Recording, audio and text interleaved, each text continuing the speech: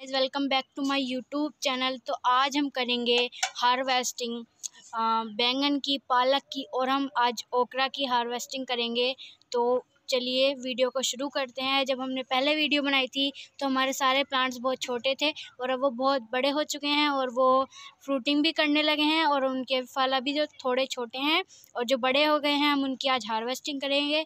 तो आज मेरा भाई हार्वेस्टिंग करेगा और मैं वीडियो शूट करूँगी। तो चलिए हम हार्वेस्टिंग करना शुरू करते हैं। अगर आपको वीडियो पसंद आए तो लाइक करें और चैनल को सब भाई और ये आज हार्वेस्टिंग करेगा सब्जियों की और मैं वीडियो शूट करूँगी। तो चलिए हम हार्वेस्टिंग गाइस ये है बैंगन का पौधा और आज हम करेंगे इसकी हार्वेस्टिंग तो इस पर काफ़ी सारे बैंगन लगे हुए हैं।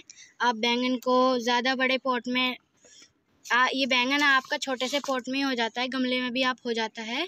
ये आपका बैंगन का पौधा हो जाता है गमले में भी इजीली आप इसे बारह बाय बारह के या पंद्रह बाय पंद्रह के या फिर उससे बड़ा ग्रो बैग भी आप ले सकते हैं। बैंगन को चार पाँच घंटे की धूप चाहिए होती है। तो अब हम चलिए इसकी हार्वेस्टिंग करते हैं बैंगन की। इस पर काफ़ी सारे बैंगन लगे हुए हैं और जो छोटे हैं उन्हें हम छोड़ देंगे और जो बड़े हो गए हैं, मैच्योर हो गए हैं, उन्हें हम हार्वेस्ट कर लेंगे। तो ये हार्वेस्ट करेंगे हम इन्हें।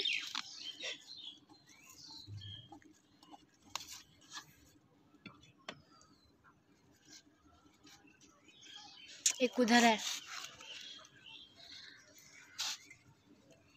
तो गाइज़ वो है हमारा ट्विंस ट्विंस है ये दोनों.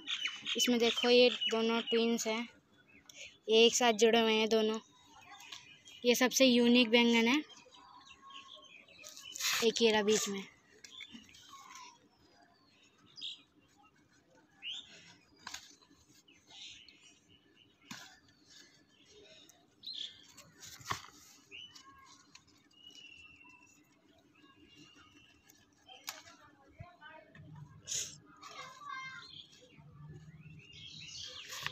बस।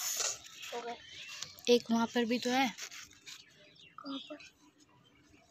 बस हो गए तो गाइस ये हो गई हमारी बैंगन की हार्वेस्टिंग अब हम इसे यहाँ पे साइड में रख देंगे। और अब हम करेंगे पालक का हार्वेस्ट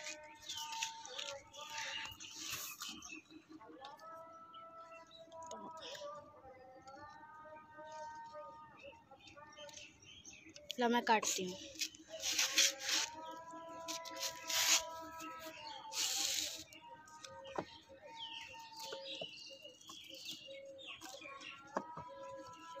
तो गाइस पालक आप छोट इससे जैसे सर्कुलर ग्रो बैग है, ऐसे ग्रो बैग में आप पालक लगा सकते हैं इजीली हो जाता है। दो हफ़्ते में आपको पालक जो है इजीली तोड़ने को मिल जाता है। जब मैंने पहली वीडियो बनाई थी तो इसमें कुछ भी नहीं था। आपने देखा होगा, देखिए अब ये कितना बड़ा हो गया है।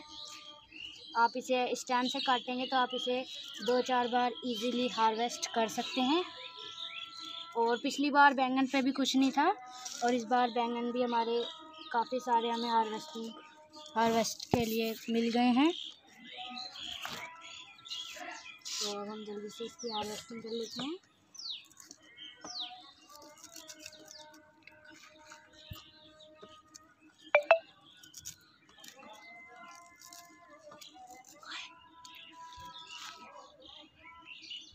तो सारा काट लेंगे क्योंकि दोबारा हो जाएगा।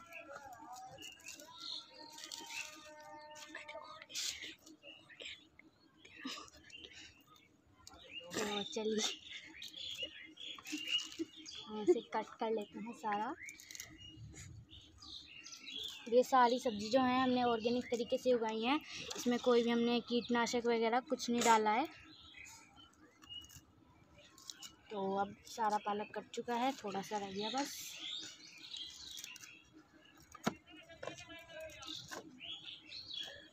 तो देखिए, ये हो गया सारा पालक हमारा हार्वेस्ट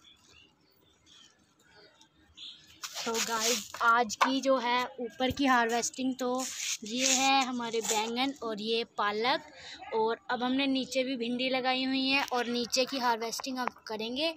तो चलिए अब हम इसे गार्डन दिखा देती हूँ अपना। ये आपने पिछली बार देखा होगा कितना सा था और अब इसमें जुकीनी भी आनी स्टार्ट हो गई हैं और वो ग्रो बैग हमने अभी और मंगवाए हैं। उनमें सब में बैंगन लगाए हैं और ये देखिए यहाँ पर तोरी की बेल हो चुकी है और इसमें अभी तोरी भी आनी स्टार्ट हो जाएँगी। और ये जुकीनी है जो पिछली बार बहुत छोटा था और ये देखिए, अभी सारे प्लांट्स मैच्योर हो गए हैं। और इधर भी अभी बहुत कुछ लगा हुआ है, टमाटर भी लगे हुए हैं अभी। ये देखिए, टमाटर भी अभी लगे हुए हैं और जुकीनी भी अभी लगी हुई हैं। तो चलिए गाइस अब हम नीचे चलते हैं भिंडी आ चुके हैं नीचे और नीचे ये अमरूद का पौधा है और भिंडी के कुछ पौधे हैं और ये घिया की बेल है। तो अब हम जल्दी जल्दी हार्वेस्टिंग कर लेंगे क्योंकि अंधेरा होने वाला है भिंडी की हार्वेस्टिंग कि गाइस भिंडी पकने वाली थी तो अब हम इन्हें तोड़ लेंगे। देखिए कितनी अच्छी साइज़ की हमें भिंडी मिल रही हैं। और अभी जो छोटी हैं, उन्हें हम छोड़ देंगे। तो यहाँ पर दस बारह पेड़ लगे हुए हैं।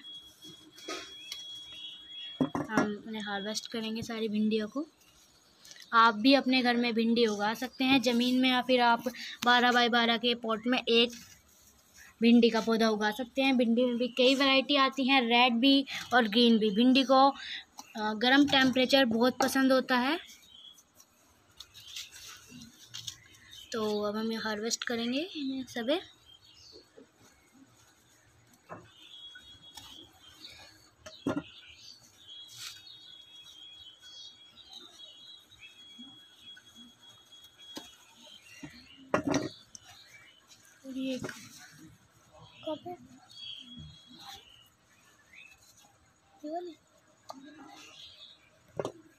यहाँ पर भी होगी एक।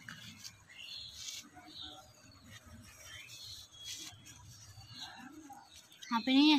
एक दिन हो गए सब हार्वेस्टिंग अब देख लो एक और होगी तो एक आध।